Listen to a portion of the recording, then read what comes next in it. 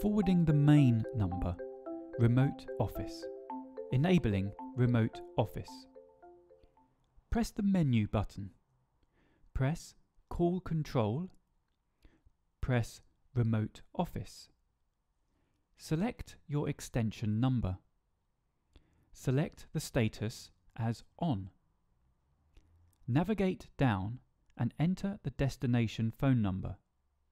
Press Save and exit to the home screen. Your main number calls are now forwarded.